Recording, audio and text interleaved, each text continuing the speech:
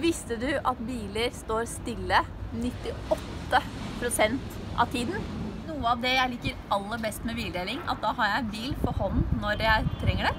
Og når jeg ikke bruker den, ja, da er det noen andre som bruker den, og jeg slipper å ha ansvar for vedlikehold.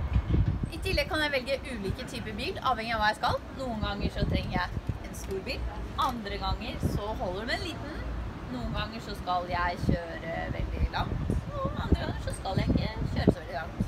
Nå fremmer vi forslag i bystyret som skal gjøre det enda enklere å dele bil i Oslo.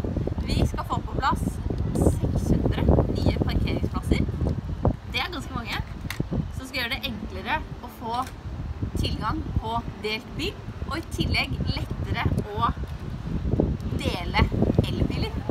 De fleste av oss har behov for bil innimellom, og mange har heller ikke råd til å ha bil fordi det koster veldig mye penger. Men når vi deler biler, så sparer vi penger, eller flere kan få muligheten fordi det er billigere. Og så sparer vi plass, og så sparer vi miljøet. Det er veldig bra.